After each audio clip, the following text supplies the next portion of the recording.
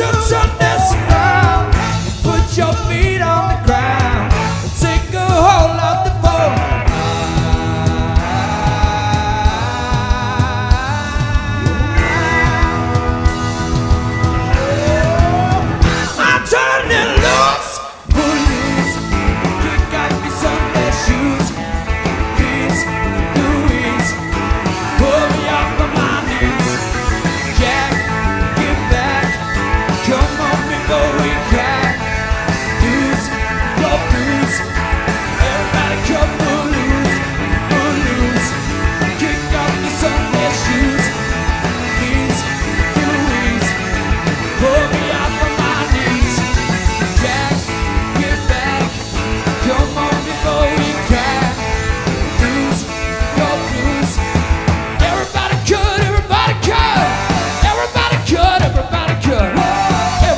Could, everybody